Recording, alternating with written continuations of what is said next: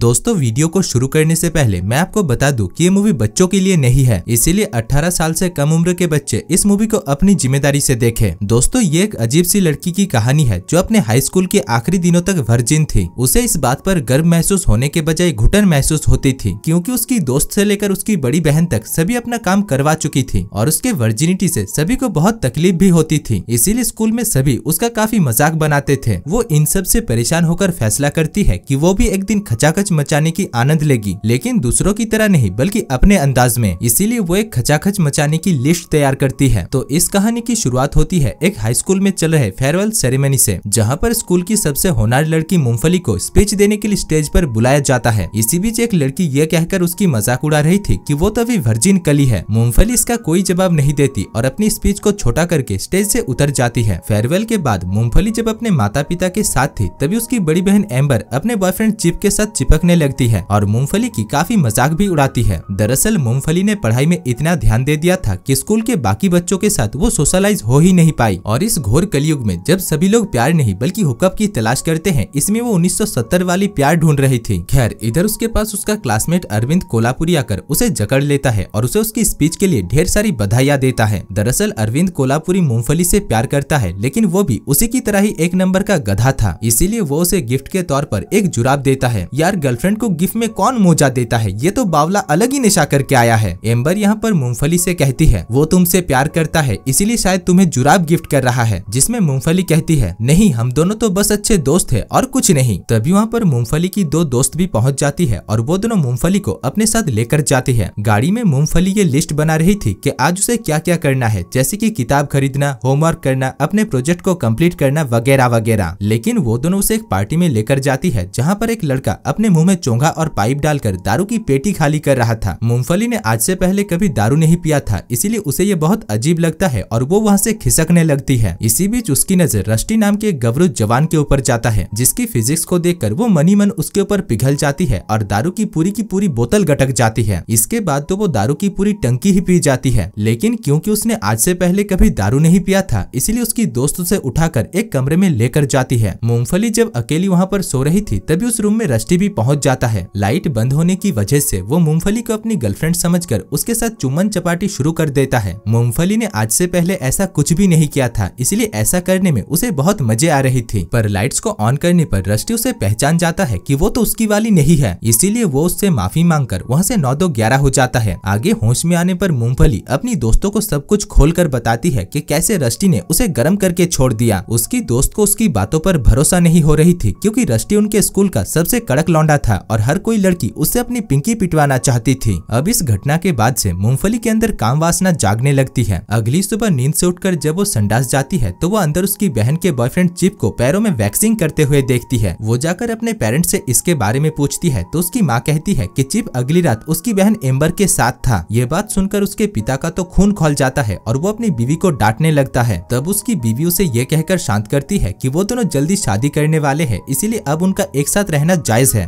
खैर उसी दिन बाद में मूंगफली गार्ड की नौकरी करने के लिए वहाँ के एक स्थानीय पुल में जाता है जहाँ पर सबसे पहले उसकी मुलाकात रष्टि से होता है जो भी उसी पुल में काम करता था रष्टि यहाँ पर उससे पिछली रात के लिए माफी मांगता है और कहता है की अगली बार से वो किस करने से पहले अपना परिचय दे देगा इसके बाद रष्टि उसे उस पुल के अभावग्रस्त मैनेजर के पास लेकर जाता है जिसका पुल का धंधा अभी मंदा हुआ पड़ा था फिर भी वो मूंगफली को काम पर रख लेता है और उस दिन वो उससे पूरा का पूरा पुल साफ करवाता है घर पहुँचने पर मूंगफली की माँ उससे पूछती है की आज उसका दिन कैसा हुआ जिसमें मूंगफली कहती है माँ आपको पता नहीं साले ने आज मुझे सभी के सामने चपरासी की तरह काम करवाया खैर मूंगफली रस्टी के ऊपर अट्रैक्ट हो गई थी और उसके साथ ही अपनी वर्जिनिटी को तोड़ना चाहती थी इसीलिए वो अपने माँ से पूछती है की उन्होंने किस उम्र में अपनी वर्जिनिटी को लूज किया था यहाँ पर उसकी माँ तो उसे कोई जवाब नहीं दे पाती लेकिन उसके पिता कहते हैं की ये होनार काम उसके पिता ने ही किया था दोस्तों आप सभी ऐसी रिक्वेस्ट है की आप लोग गलती ऐसी भी ये सवाल अपने माता पिता ऐसी मत पूछ लेना क्यूँकी यहाँ पर तो ये कॉमन है पर हमारे यहाँ पर इसके बदल बदले में आपको जूते चप्पल पड़ सकते हैं खैर रात को मूंगफली की माँ मूंगफली के पिता से कहती है कि उन्हें मूंगफली को सब कुछ बता देना चाहिए तब मूंगफली के पिता कहते हैं नहीं नहीं ये सब कुछ बताकर कोई फायदा नहीं है देखा ना पिछली बार एम्बर को ये सब कुछ बता दिया था तब उसने पंद्रह साल की उम्र में ही अपनी वर्जिनिटी को लूज कर लिया था खैर वही दूसरी तरफ एम्बर मूंगफली को अपना इतिहास बताती है की वो जब पंद्रह साल की थी तब उसने क्या क्या कांड किया और कैसे अपनी वर्जिनिटी को लूज किया ये बात सुनकर मूंगफली के अंदर भी हवस जागने लगती है और वो अपनी खचाखच मचाने करने के फैंटेसाइज की एक सूची बना लेती है अगले दिन वो अपनी दोस्तों से मिलकर उन्हें अपना ये योजना बताती है कि वो रस्टी के साथ खचाखच मचाने से पहले और भी लड़कों के साथ खचाखच मचाने की एक लिस्ट को पूरा करना चाहती है ताकि वो रस्टी को पूरे मजे दे सके उधर उसी दिन वाटर पार्क की ओपनिंग थी इसलिए वाटर पार्क के बाहर बच्चों की भीड़ लगी हुई थी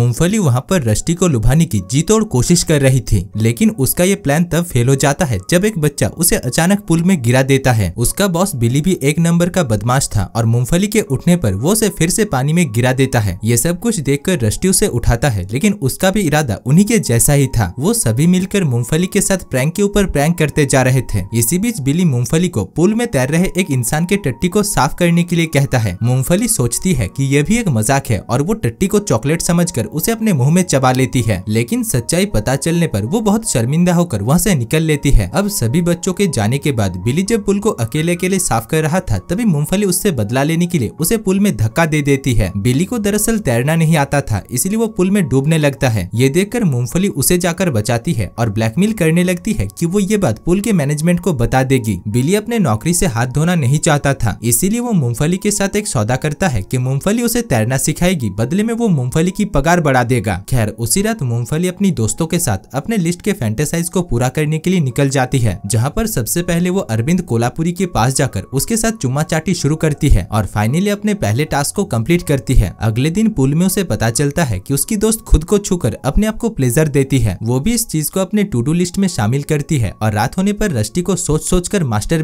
करती है इसी बीच उसके कमरे में उसकी बड़ी बहन अंबर भी पहुंच जाती है और उससे कहती है कि अरविंद कोलापुरी ने उसे कॉल किया है दरअसल अरविंद कोलापुरी उसके साथ डेट पर जाना चाहता था मूंगफली को अपने लिस्ट के हिसाब से कुछ चीजों को करने के लिए अरविंद की जरूरत थी इसीलिए वो उसके साथ डेट पर जाने के लिए मान जाती है आगे वो दोनों एक थिएटर में मूवी देखने के लिए जाते हैं जहाँ पर मूंगफली अरविंद कोलापुरी के केले को छील देती है यानी उसे हैंड जॉब देती है अगले दिन मूंगफली रष्टि को लुभाने के लिए बिकनी पहनकर पुल में पहुँच चुकी थी इसी बीच अचानक कब उसकी ब्रा उतर जाती है इसके बारे में उसे भनक तक नहीं लगता इधर तब तक पुल में उसकी ब्रा को लेकर कुछ बच्चे खूब मस्ती कर रहे थे और उसे उसकी ब्रा वापस नहीं लौटा रहे थे इसीलिए मूंगफली गुस्से में बिना कपड़ों के ही बाहर आ जाती है और ये खूबसूरत नजारा वहाँ पर मौजूद सभी लोग देखते हैं उसी दोपहर को मूंगफली जब बिली को तैरना सिखा रही थी तभी वहाँ पर मूंगफली की बड़ी बहन एम्बर भी पहुंच जाती है बिली पहली नजर में ही उसकी खूबसूरती को देखकर उसे ताना डालने लगा था लेकिन एम्बर कहाँ उससे पटने वाली थी खैर अगले दिन जब वो तीनों पुल साइड पर बैठकर एडल्ट मैगजीन देख रही थी तभी मूंगफली की नजर रस्टी के ऊपर जाता है जो की उसे घूर रहा था मूंगफली को लग रहा था की रस्टी शायद उसी के बारे में ही बात कर रहा है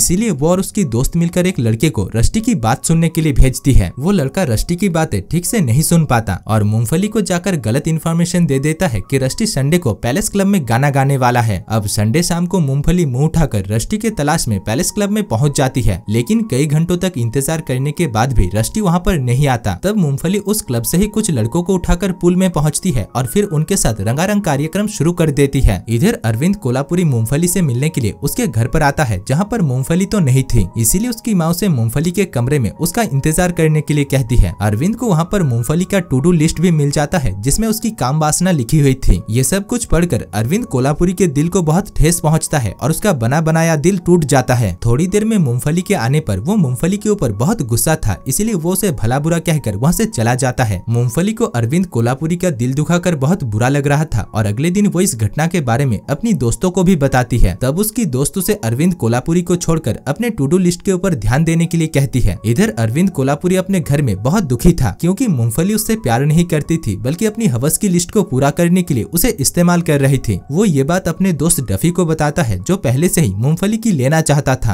इस मौके का फायदा उठाकर वो हरामी मूंगफली को समझाने के बहाने उसके करीब आ जाता है और उसकी पैंटी उतारने की भी कोशिश करता है मूंगफली अपने आप को संभाल नहीं पाती और अपने लिस्ट को पूरा करने के लिए उसके साथ ऊपर ऊपर से ही रगड़ा रगड़ी शुरू कर देती है अगले दिन डफी ये बात अपने दोस्त काले जामुन को भी बताता है की मूंगफली हर किसी को उसकी लेने के लिए दे रही है काले जामुन भला इस मौके को कैसे छोड़ सकता था इसीलिए वो भी मूंगफली को अपने घर पर बुलाकर उसे रगड़ देता है मूंगफली ये सारी बातें अपने अपने टू डू लिस्ट में लिखती थी कि उसने किसके साथ क्या क्या किया इसी बीच एक दिन उसकी एक दोस्त उसकी उस टू डू लिस्ट में डफी का नाम देख लेती है दरअसल वो लड़की डफी से प्यार करती थी इसलिए मूंगफली के साथ डफी के इस करतूत को सुनकर वो मूंगफली के ऊपर भड़क जाती है इधर मूंगफली जिस पुल में काम करती थी उस पुल के पास वाले पुल के लोगों ने जानबूझकर पुल को बहुत गंदा कर दिया था इसीलिए मूंगफली रस्टी और बिली इसका बदला लेने के लिए रात में पास वाले पुल में पहुंच जाते हैं और पुल को बहुत गंदा करते हैं यहाँ पर रस्टी और मूंगफली पहली बार जानबूझकर एक दूसरे को किस करते होते हैं अगली सुबह हम उस पुल के मालिक को देखते हैं जो अपने पुल की इस हालत को देखकर बहुत भड़का हुआ था तभी उन्हें वहाँ पर एक ब्रा टंगी हुई मिलती है जिसके पीछे मूंगफली का नाम लिखा हुआ था वो तुरंत बिली के पास जाकर उसे मूंगफली को नौकरी ऐसी निकालने के लिए कहता है वरना वो ये बात पुल मैनेजमेंट को बता देने की धमकी देता है बिली के पास अब कोई दूसरा रास्ता भी तो नहीं था इसलिए उसे मूंगफली को नौकरी से निकालना पड़ता है मूंगफली अपनी नौकरी को खोकर बहुत दुखी थी तभी वो अपनी टू डू लिस्ट को पूरा करने के लिए रस्टी को कॉल घुमाती है और उसे डेट के लिए बुलाती है मूंगफली की बड़ी बहन बहन एम्बर मूंगफली को यहाँ पर ऐसे तैयार करती है जैसे कि वो कोई डेट पर नहीं बल्कि अपनी शादी पर जा रही है खैर तैयार होकर वो रस्टी के साथ डेट पर जाती है जहाँ पर वो दोनों एक सुनसान जगह पर गाड़ी के अंदर इंटीमेट होते हैं लेकिन रस्टी वहाँ पर ज्यादा देर तक टिक नहीं पाता इससे मूंगफली बहुत निराश होती है क्योंकि उसने इतने दिनों तक जिसके लिए ये सब कुछ किया वो बेचारा उसके लिए किसी काम का नहीं था इसी बीच मूंगफली की नजर वहाँ पर पास वाली गाड़ी के अंदर जाता है जिसमे उसके माता पिता भी इंटीमेट हो रहे थे वो दोनों ही एक दूसरे को इस हालत में देख अपनी अपनी गाड़ी लेकर वहाँ से निकल लेते हैं घर पहुँच मूंगफली के माता पिता और भी ज्यादा शर्मिंदा हो जाते हैं क्योंकि अंदर उनकी बड़ी बेटी बिली के साथ इंटीमेट हो रही थी दोस्तों इस मूवी के बारे में मैं आपको और क्या ही बताऊं खैर इसके बाद हमें कुछ महीने बाद की कहानी दिखाया जाता है जहाँ पर हम मूंगफली को देखते हैं जिसका जॉर्ज टाउन यूनिवर्सिटी में एडमिशन हो चुका है इसी बीच उसकी मुलाकात वहाँ पर अरविंद कोलापुरी से होता है जिससे वो माफी